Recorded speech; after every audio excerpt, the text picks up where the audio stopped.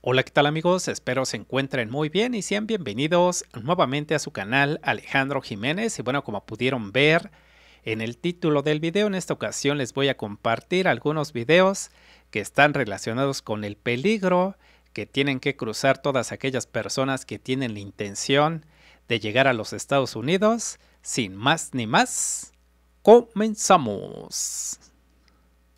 Pero eso nada más no simplemente, pero la realidad está allá adentro.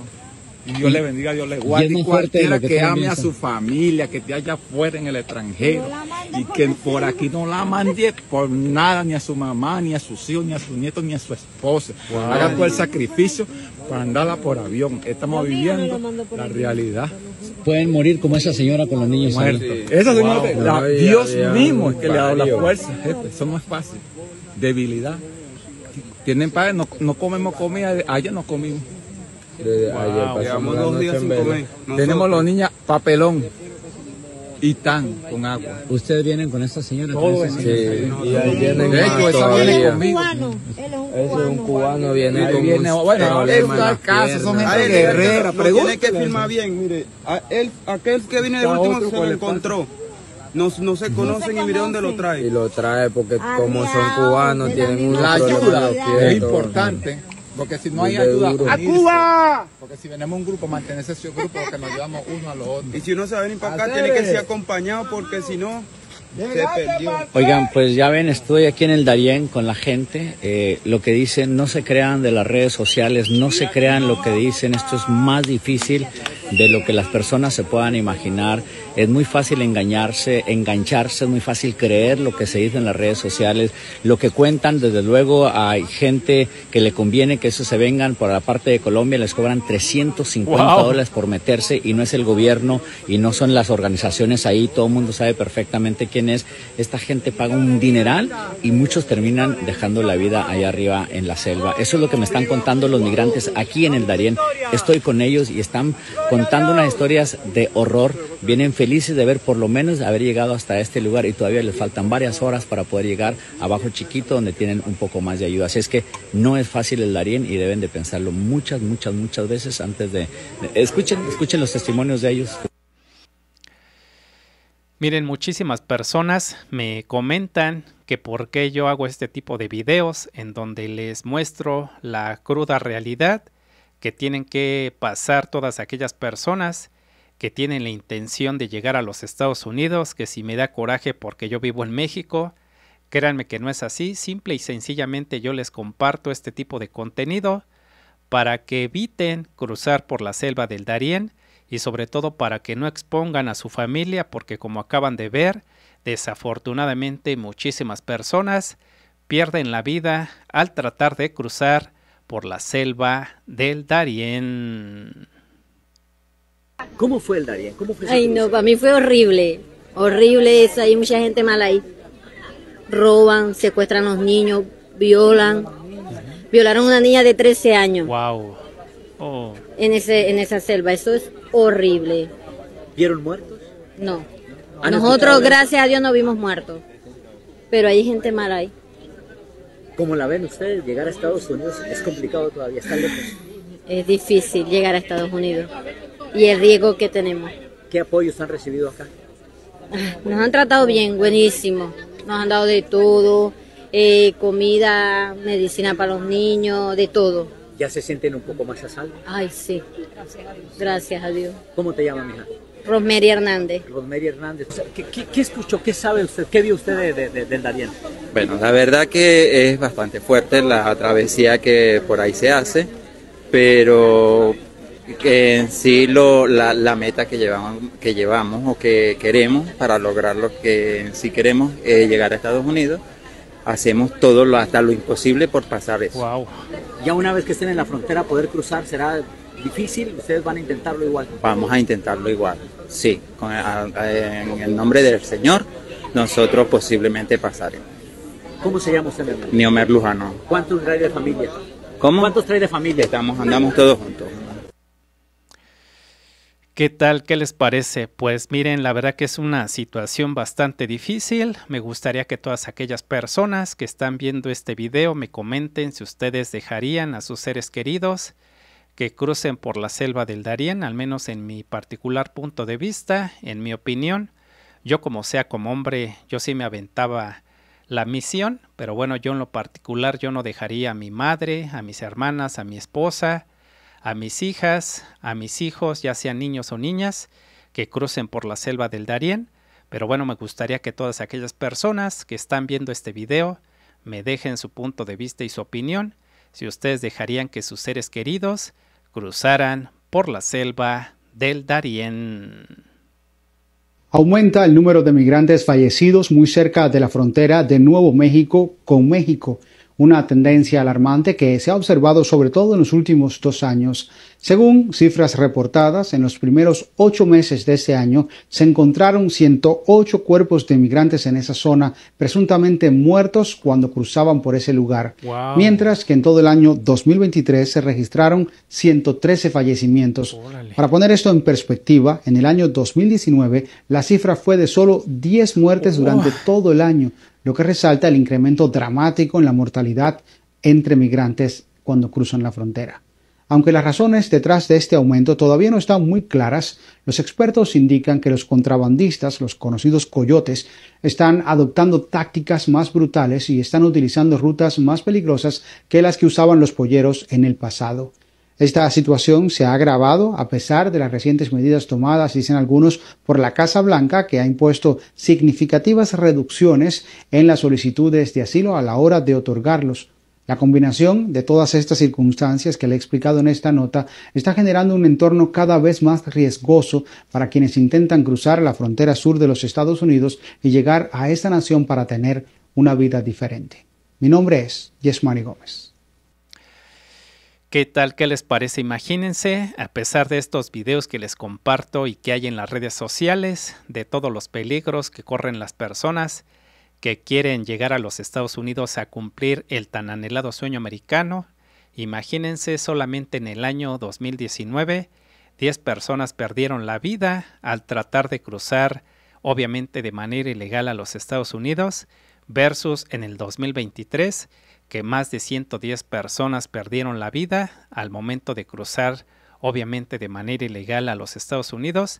Recuerden que la única intención de este tipo de videos es que vean que la realidad está bastante difícil, sobre todo si tratan de cruzar de manera ilegal.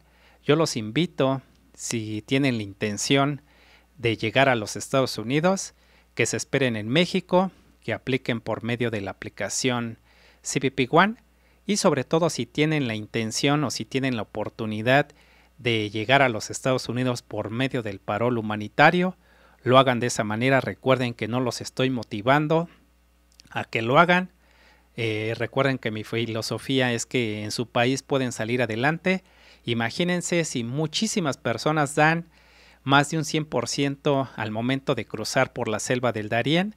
Yo les pediría que hagan lo mismo en sus países para tratar de salir adelante y que no se expongan al momento de cruzar por la selva del Darién y también como acaban de ver el cruzar de manera ilegal por la frontera sur de los Estados Unidos también es una situación bastante riesgosa que sobre todo pone en peligro a ustedes mismos y también a sus seres queridos. La verdad que yo no termino de entender cómo hay migrantes que vienen a Estados Unidos a vivir en situación de calle. Miles en Washington DC, Naudis duerme en la calle. Ahí vivo yo y vive mi primo allá, pero mi primo anda trabajando ahorita. Vive en este refugio improvisado y se asea junto a otros que, como él, viven en la indigencia. Una toma de agua y nos bañamos aquí. El tiempo que hemos estado en la calle. Originario de Venezuela, lleva seis meses sin hogar. Dice que la falta de trabajo estable no le permite pagar un alquiler. Mi motivación es para salir adelante porque uno se vino este, creyendo que acá en América era muy diferente como se lo decían a uno, se lo pintaban a uno de una manera y no es así como uno lo dice. Un informe del Departamento de Vivienda señala que a nivel nacional en 2023 se registraron casi 71 mil indigentes más en comparación con el año anterior. Y ahí es cuando empezamos a ver más gente en carpas, algunas personas negándose a ir a refugios y aceptar los servicios porque tienen miedo. En mi opinión, si estás en un refugio y tienes las comodidades para reunir dinero, ¿por qué esperar a estar en esta situación? ¿Qué tal? ¿Qué les parece? Imagínense, hay muchísimas personas que migran a los Estados Unidos, no solamente solos, viajan en pareja y a veces la familia traen hasta 4, 5, 6, 7, 8, hasta 10 hijos y que gastan obviamente miles y miles de dólares en el transcurso, en la travesía de, de llegar, por ejemplo, de Venezuela, cruzar por México y bien por otros países para finalmente llegar a los Estados Unidos llegar a vivir algunos meses e inclusive años a los refugios, se les acaba el tiempo en su estadía en los refugios y simple y sencillamente cuando les dicen que ya se les acabó el tiempo, simple y sencillamente comienzan a vivir en situación de calle, al menos a mí no me hace sentido, me gustaría que todas aquellas personas que están viendo este video me dejen su punto de vista y su opinión, al menos yo en lo particular preferiría salir adelante en mi país, pero bueno, y si tuviera la necesidad de emigrar a los Estados Unidos, créanme que estuviera muy agradecido que me tuvieran algunos días o tal vez semanas o tal vez algún par de meses para posteriormente comenzar a trabajar, pero créanme que desafortunadamente muchísimas personas tienen la intención de llegar a los Estados Unidos, simple y sencillamente creen que los van a estar manteniendo de por vida, pero como acaban de ver, la cruda realidad es que muchísimas personas al día de hoy simple y sencillamente viven en situación de calle. Pongan atención que uno de los elementos, hijos de Chávez, nos va a explicar la situación de Venezuela desde su perspectiva y conformismo. Soy venezolana que estuvo en el extranjero y obviamente que la economía ha mejorado, porque cuando yo me fui no tenía ni para comprarme una pantaleta y ahora que llegué ya compré mi cama, lavadora y televisor. Soy venezolana que estuvo en el extranjero y obviamente no me quiero volver a ir de Venezuela porque afuera se pasa mucha roncha. Soy venezolana que estuvo en el extranjero y no engordé afuera para estar gorda en Venezuela. Soy venezolana que estuvo en el extranjero y obviamente ya no me doy mala vida por arriendo porque antes me tardaba un día en pagar y ya me querían correr. Soy venezolana que estuvo en el extranjero y obviamente extrañaba comer mi chuletón mala y mis arepas con queso blanco. Soy venezolana que estuvo en el extranjero y nunca en seis años perdí mi acento. Soy venezolana que estuvo en el extranjero y obviamente todos sabemos que la arepa es de mi país. Creo que lo único que puedo concordar con esta chica es en el tema de la arepa. Pero por lo demás, mi gente, es impresionante cómo manipulan a estos elementos, adoctrinándolos a tal punto de conformarse con cosas tan sencillas que en un país de primer mundo son de verdad fáciles de accesar. ¿Qué tal? ¿Qué les parece? ¿Cómo ven a esta chica venezolana que dice que vivió en el extranjero y que al día de hoy ya vive mejor en Venezuela? Créanme que no sé si sea verdad o mentira yo he sabido que efectivamente muchísimas personas han regresado a Venezuela, pero bueno, no creo que la situación sea muy diferente a la de hace algunos años. Pero bueno, me gustaría que todas aquellas personas que están viendo este video me comenten y sobre todo los venezolanos que han regresado por una o bien por otra razón a Venezuela, si efectivamente creen que la situación ha mejorado. Al menos yo lo que sé, la situación está bastante difícil Imagínense al día de hoy que están viendo este video, muchísimas personas migran todos los días de Venezuela a los Estados Unidos. La verdad que creo que sí es una situación bastante difícil, pero recuerden, y perdón por ser muy repetitivo, recuerden que la única intención de este tipo de videos es que vean que la situación es bastante difícil. Yo los invito a que si ya llegaron a los Estados Unidos aprovechen esa oportunidad que les están dando sobre todo a los venezolanos, imagínense, prácticamente los, reciben con los brazos abiertos, les dan prácticamente todo y desafortunadamente muchísimas de estas personas que llegan y que ya cumplieron la meta de llegar a los Estados Unidos, simple y sencillamente quieren que los mantengan toda la vida. Imagínense, los mexicanos la tenemos bastante difícil. los mexicanos nos tenemos que andar escondiendo de manera literal allá en los Estados Unidos. Sin embargo, nos ponemos a trabajar desde el primer día que llegamos a pisar suelo estadounidense, pero bueno, espero que les hayan gustado los videos que les compartí el día de hoy. Recuerden que si les gustó este tipo de videos, los quiero invitar a que me regalen un like, a que se suscriban a mi canal. Recuerden que es completamente gratis y también los quiero invitar a que me comenten qué piensan acerca de todos los videos que les acabo de compartir. Muchas gracias y nos vemos en un próximo video. Bye bye. Miren, les quería comentar que en esta ocasión estuvieron nuevamente acá Blue, que por cierto se estaba pasando por acá por atrás de la, de la computadora. Acá tenemos a, a Frida, que les digo que últimamente me han estado ayudando, me han estado acompañando al momento de grabar mis videos. En esta ocasión, eh, Buda ocupó la cama de Blue y Blue está ya en su cama de Buda. Blue estaba aquí atrás de mí, acá en la silla, pero a medio video se pasó para allá para su cama, se estaba pasando por allá atrás de la computadora, estaba buscando en dónde acostarse. Pero bueno, solamente les quería compartir que estos bebés han estado eh, pues acompañándome, sobre todo en estos videos, en estos en los, en los videos más recientes, ya que como les comenté, mi mamá falleció hace prácticamente dos meses y obviamente he estado pues bastante triste.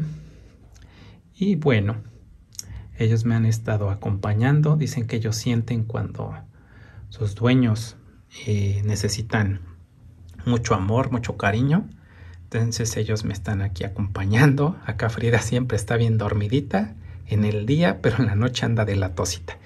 Pero bueno, muchas gracias y nos vemos en un próximo video. Bye bye.